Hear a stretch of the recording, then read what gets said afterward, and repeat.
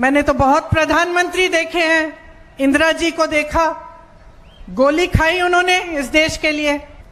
राजीव गांधी को देखा। शहीद हुए इस देश के लिए। नरसिम्हा राव जी को देखा। मनमोहन सिंह जी को देखा। मेहनत करते हुए दिन रात को इस देश के लिए। लेकिन मैंने पहला ऐसा प्रधानमंत्री देखा है, बहनों और भाइयों। पहला देखा है। ना जो आपके सामने आकर रोता है कि मुझे गाली लग रही है मुझे गाली दे रहे हैं आपके दुख सुनने के बजाय अपना दुखड़ा आपको सुनाते हैं। और और किसी ने उनके ऑफ़िस में बैठकर एक लिस्ट बनाई है। अरे आपके दुखों की लिस्ट नहीं है वो। वो आपकी समस्याओं की लिस्ट नहीं है। वो ये लिस्ट नहीं है कि किसानों की क्या समस्या है, हमें क्या करना वो ये लिस्ट है कि मोदी जी को कितनी बार किसने गाली दी है। कम से कम एक पन्ने पे फिट तो आ रही है।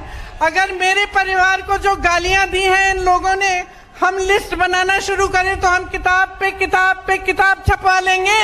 हिम्मत करो मोदी जी, मेरे भाई से सीखो।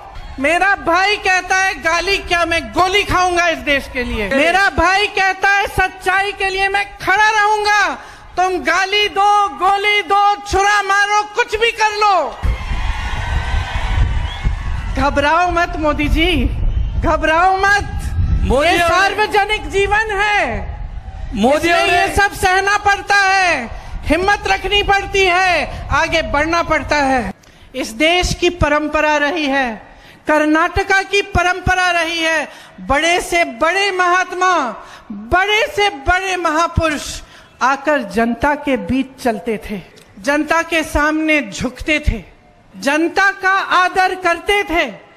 और यही हमारे लोकतंत्र की नींव है। और इसी नींव को कांग्रेस पार्टी ने डाला। इसी सिद्धांत को लेकर कांग्रेस पार्टी की सरकारें बनती हैं।